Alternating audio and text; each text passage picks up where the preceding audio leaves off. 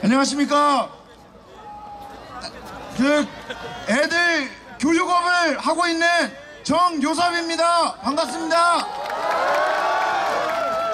뭐 저는 앞에 대학생이나 그 전에 어머니처럼 말을 잘 못, 이렇게 하지는 못합니다.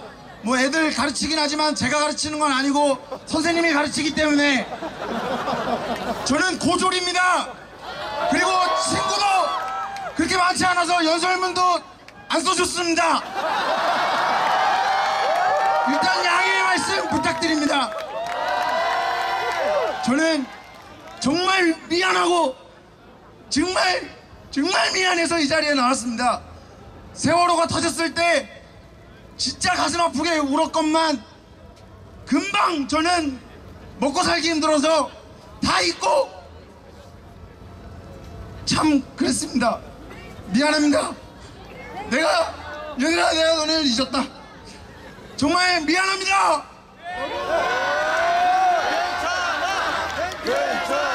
고맙습니다. 어쨌거나 그러면 이렇게 많은 분들이 용서를 해주신다니 앞으로 조금만 더 미안해하고 그만하도록 하겠습니다. 그리고 두 번째 미안한 거 저쪽에 의경들 방패 들고 서 있는 내가 저분들 욕했습니다. 많이 아 욕은 하지 말라고 거기 종이에 써 있어가지고 제가 욕을 할 뻔했네요.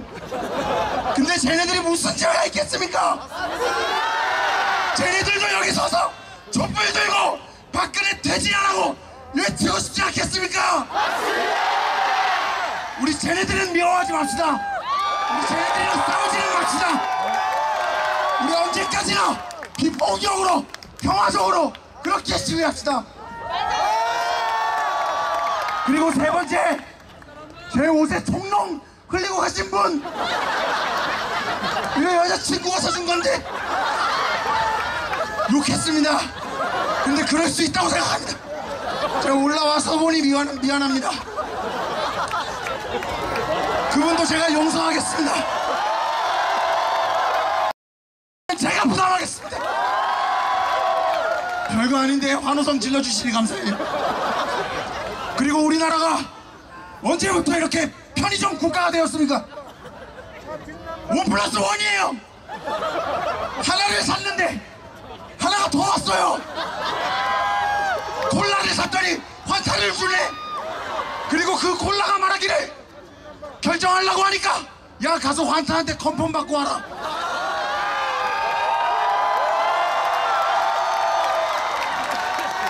우리나라가 편의점 국가입니까? 편의점이 많다고 해서 우리나라 편의점 국가입니까? 우리나라는 편의점 국가가 아닙니다. 물론 여러분들이 편의점에 들어가서 다 원 플러스 원을 사신다는 것을 알고 있지만 저도 그렇지만 대통령은 원 플러스 원으로 뽑지 않았습니다.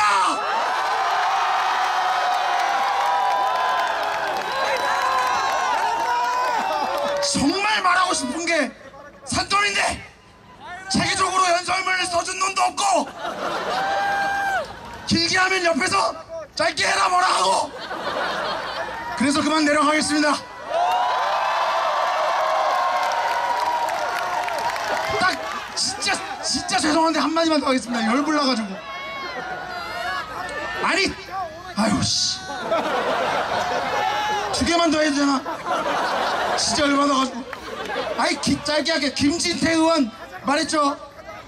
저 촛불 꺼, 꺼진다고. 절대 안 꺼지는 게 걱정해 김진태 의원 새누리당 당신네들이 휘말려서 우리 촛불은 안 꺼진다! 이런 씨발! 욕 아니에요. 욕 아니에요. 욕 아니에요. 아주 김진태 의원 아주 족같은 발언 주옥 같은 주옥 같은 아, 주옥 같은 발언 때문에 해가지고. 열이 받아가지고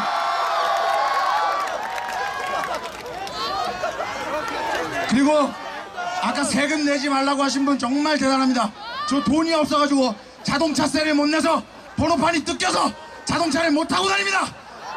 근데 졸지의 영웅이 됐습니다 주변에서. 어쨌거나 지금 돈 없어서 못 내고 있지만 돈 있어도 안 낼 겁니다. 정권 바뀌면 그 정권 도와주려고 아무튼 그 더불어민주당 지금 뭐합니까 근데 씨. 아이씨. 아 내려가겠습니다 그만하라고 욕하니까